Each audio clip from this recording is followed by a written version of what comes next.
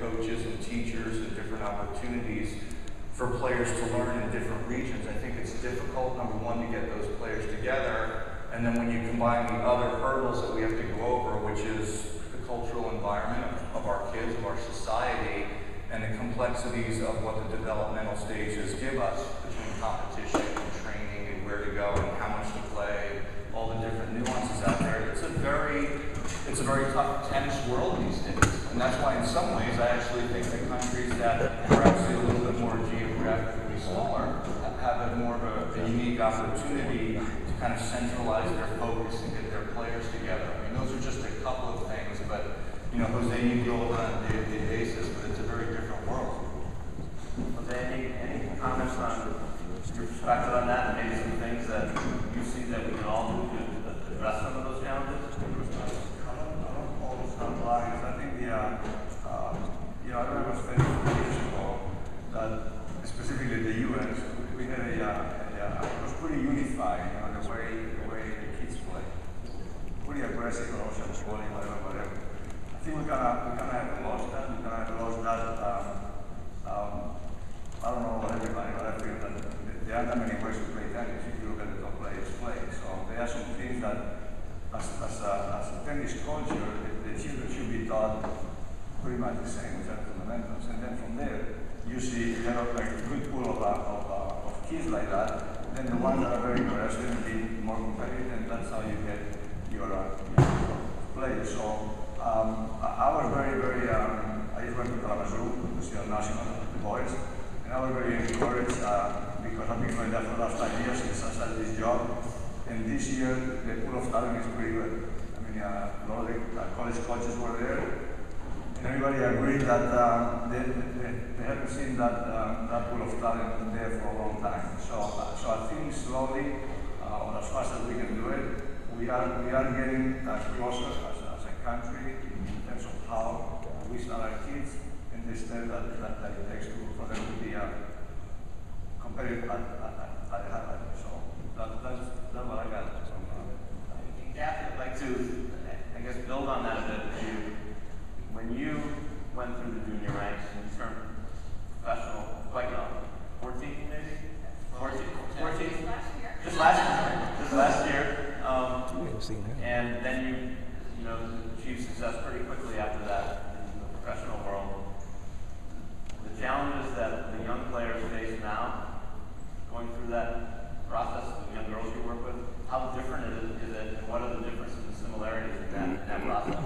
Well, I think, you know, today there's obviously the difference because we have the age eligibility rule. So when I played, I didn't have uh, just a certain number of tournaments that I could play. I could play as much as I wanted, and uh, thankfully I had a good team around me that made sure I didn't overplay and play too many exhibitions and things. And I think with the girls today, you know, we're not seeing as many girls at 14 because they can only play so many tournaments. Um, so that's their challenge. But it is great to see these girls at the same time get their feet wet in the professional ranks um, because I really think, you know, at the end of the day, that's really where you see where you're at with your tennis, what you need to do, uh, what you need to improve. Um, so you see them playing the ITFs and juniors and throwing in the professional tournaments and, and getting a variety of, of events to, to help them with their tennis. And, uh, and, and again, uh, at the USTA, what we try and do there too is we try to bring the top players together for camps. But as Paul said, it's so difficult with the schedules, and because our country's so large, um, to get everybody together to, for a healthy competition. You see, like the Russian players, where they have a great group of girls. Uh, because it's a healthy competition, they push each other. And so what we try to do that uh, at the USTA, we try to bring the girls in the eight different age groups all together so that they can have, uh, matches where they just play matches against each other because I think that is so uh, vital and so important to their development that they learn to play against their peers because that, to me, is the most pressure you'll ever feel. Pretty interesting yesterday. How, how many were at the session yesterday with Patrick and Kurt? One of the points that came up in the research pointing to them is the whole idea of unstructured play.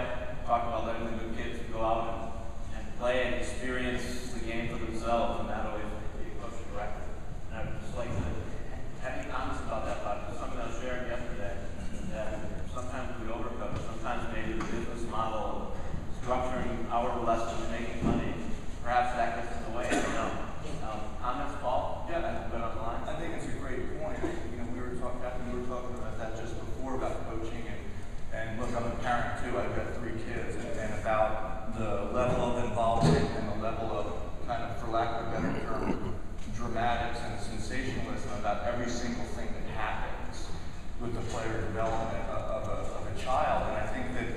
it's really important to understand there's some really, as Jose said, there's some very significant commonalities. They can start out to build a foundation. And then part of it, a huge part of it, is about helping them learn their independence and learning learning to problem solve themselves. And, and because ultimately when they're on the court, they better be able to figure it out. And one of the problems that I face as well as a coach is that how do you gauge how much you're saying? Is it too much? Is it not enough? Is it, you know, are you getting them dependent? Are you teaching them independence? Are you teaching them to problem solve? Or are you, or are you making them have to look to you for everything? So the unstructured play is a huge part of it. You know, there's parts, there's times where it's really important to give the instruction, the technique, foundation, strategy, and then go compete. Figure it out. It's up to you to figure it out. And, and you have to teach that at an early age. So I think it's really important. The other area that, that, that Kathy mentioned, which is really important, that goes hand in hand with that, and goes back to the cultural stuff that Jose and I were talking about earlier as well, is that it's taking a lot longer for the best players to develop. And, and we don't talk about that enough. And I think that the kids don't hear enough of an education about that. For instance, you know, now the average age of a, of a, of a male to, to touch the top 100 in the world, so to speak, is 23 years old. So that's, that's five years to get your backside kicked before you get into that elite level.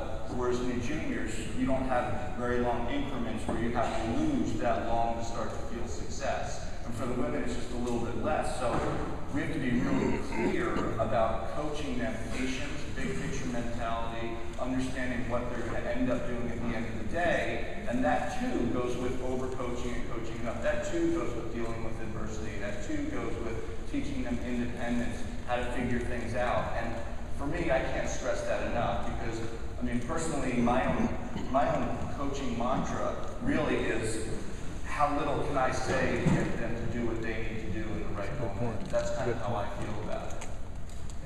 I agree.